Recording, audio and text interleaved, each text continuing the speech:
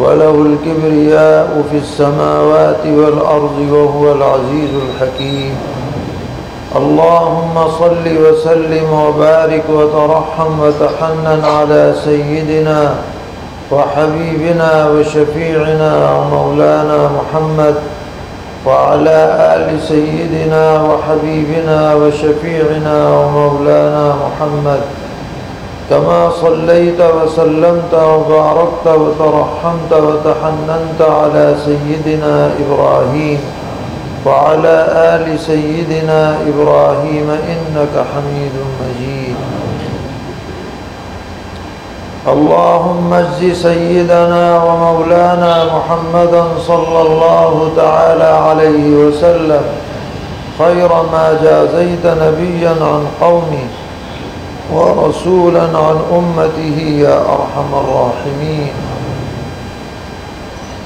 اللهم ربنا ظلمنا أنفسنا وإن لم تغفر لنا وترحمنا لنكونن من الخاسرين. ربنا لا تزغ قلوبنا بعد إذ هديتنا وهب لنا من لدنك رحمة إنك أنت الوهاب. فاطر السماوات والأرض أنت وليي في الدنيا والآخرة. توفني مسلما وألحقني بالصالحين. اللهم ربنا آتنا في الدنيا حسنة وفي الآخرة حسنة وقنا عذاب النار. وأدخلنا الجنة مع الأبرار. يا عزيز يا غفار. يا رب العالمين. اللهم إنا نسألك من الخير كله عاجله وآجله ما علمنا منه وما لم نعلم ونعوذ بك من الشر كله عاجله وآجله ما علمنا منه وما لم نعلم. برحمتك يا أكرم الأكرمين. اللهم إنا نعوذ برضاك من سخطك ونعوذ بمعافاتك من عقوبتك اللهم إنا نعوذ بك منك لا نحصي ثناء عليك أنت كما أثنيت على نفسك الہ العالمین ہم سب کے گناہوں کو معاف فرما ہماری غلطیوں سے درگزر فرما۔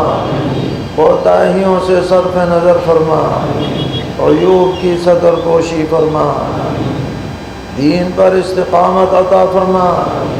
دین پر زندگی دین ہی پر موت عطا فرما۔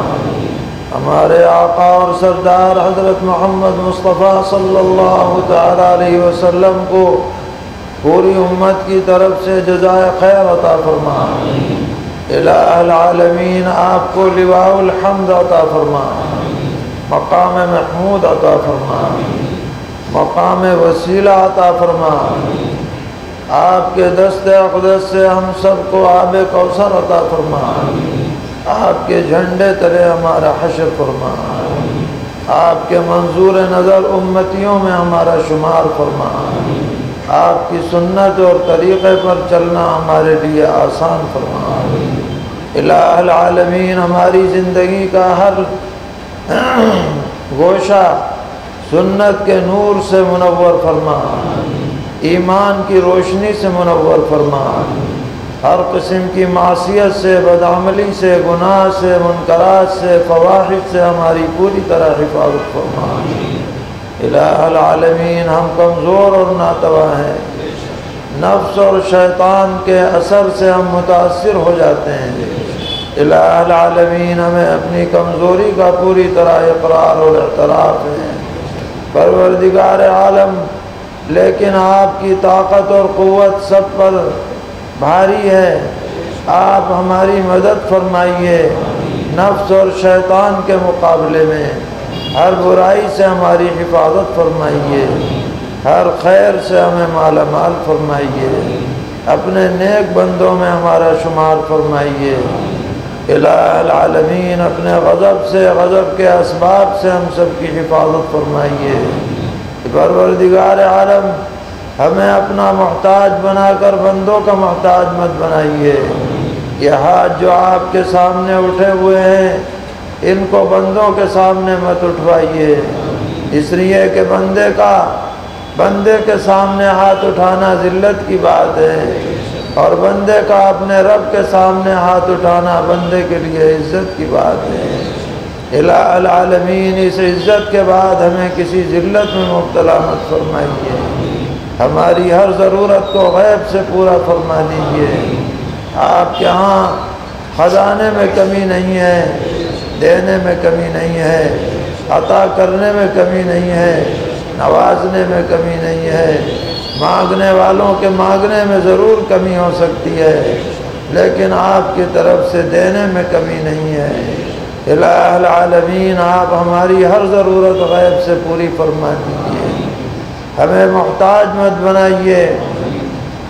الہ العالمین، ہمیں دنیا میں بھی عزت و عافیت والی زندگی عطا فرمائیے۔ اور آخرت میں بھی عزت و عافیت عطا فرمائیے۔ وہاں کی رسوائی اور ذلت سے ہمیں بچائیے گا۔ وہاں سرخ روح ہو کر اپنے دربار میں بلائیے گا۔ الہ العالمین